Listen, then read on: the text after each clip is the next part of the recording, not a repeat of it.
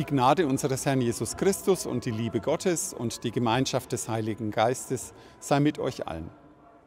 Amen. Der Predigtext für diesen Sonntag steht im Brief des Paulus an die Römer im achten Kapitel. Der Geist hilft unserer Schwachheit auf.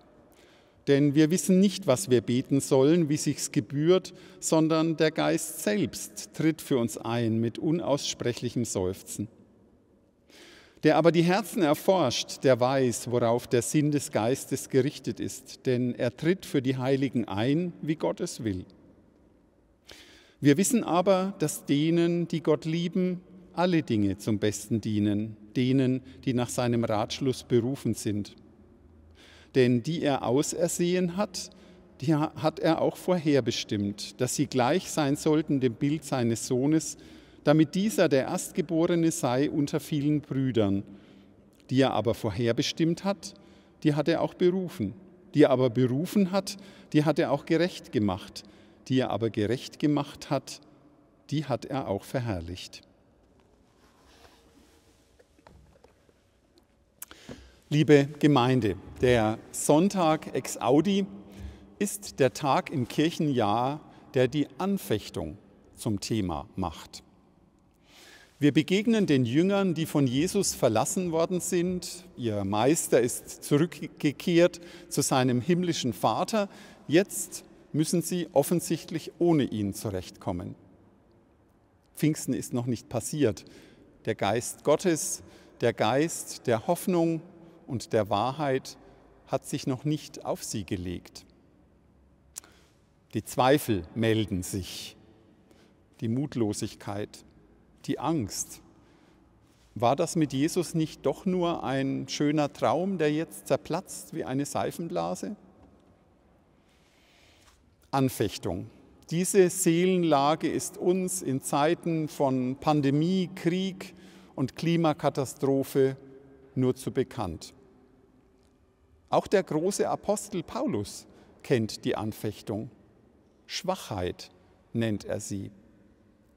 Wenn man aufhört zu beten, weil einem Gebete nur noch vorkommen wie Selbstgespräche oder wenn man sich fürchtet vor der Zukunft oder wenn man die Verheißungen vergisst, die Gott noch für seine Welt hat.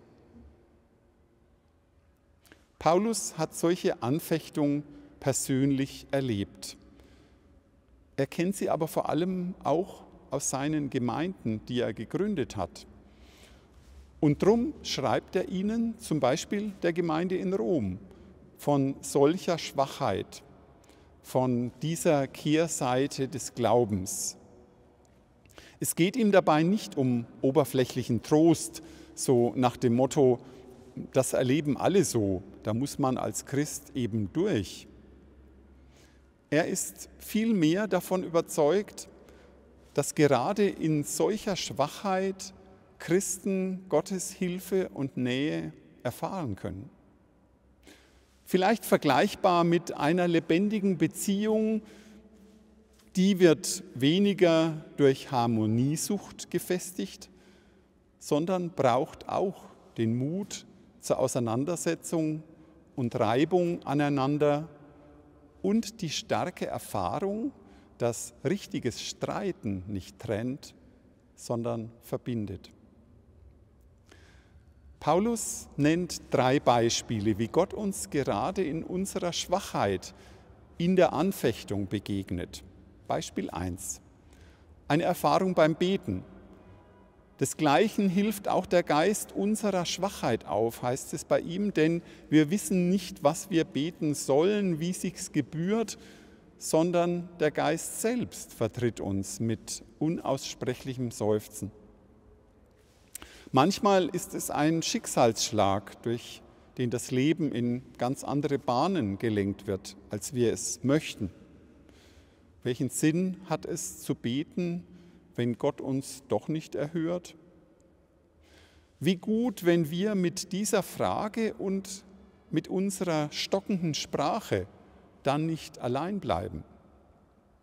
Die Psalmen, das Gebetbuch im Alten Testament bieten uns Worte an, wenn uns die Worte fehlen. Bitten, flehen, ja auch klagen können wir uns hier ausleihen, wenn unser Kopf und unser Herz leer sind und uns die Worte im Hals stecken bleiben.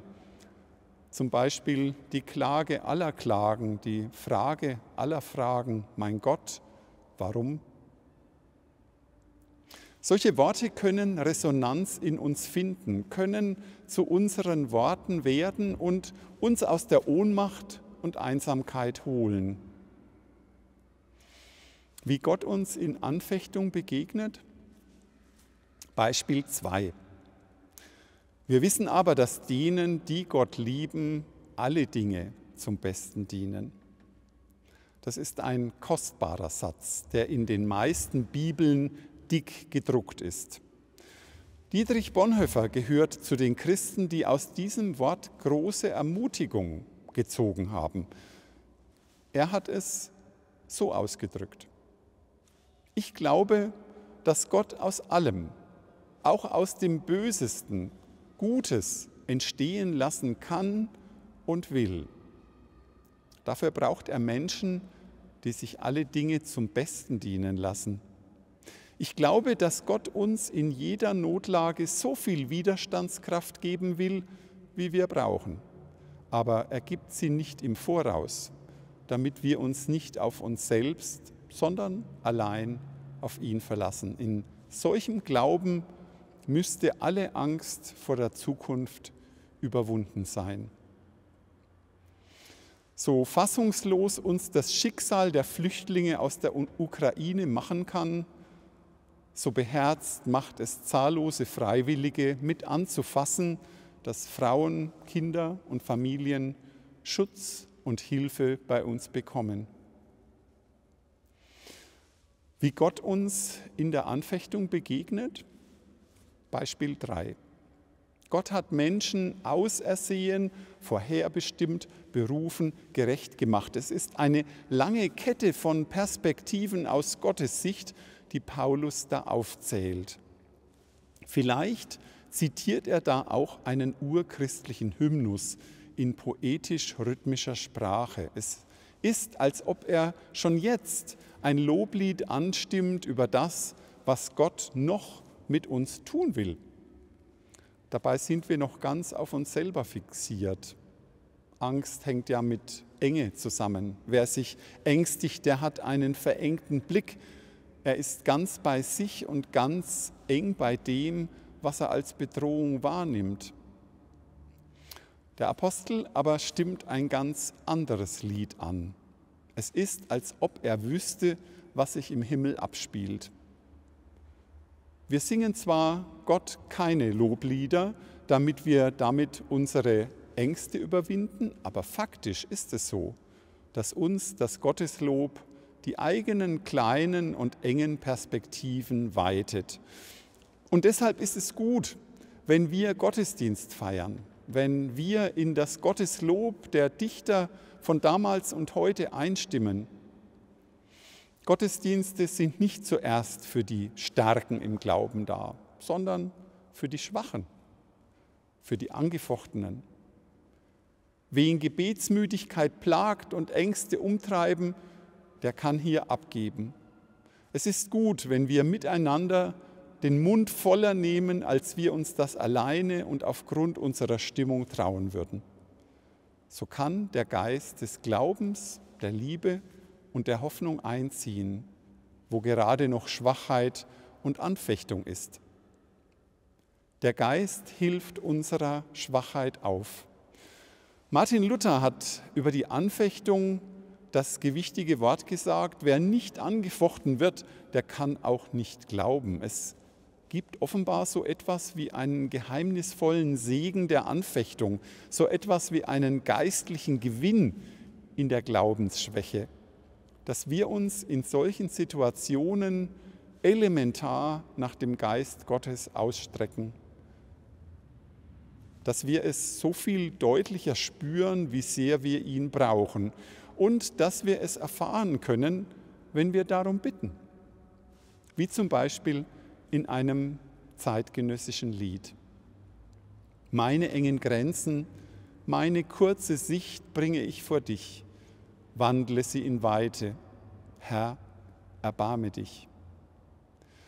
Meine ganze Ohnmacht, was mich beugt und lähmt, bringe ich vor dich, wandle sie in Stärke.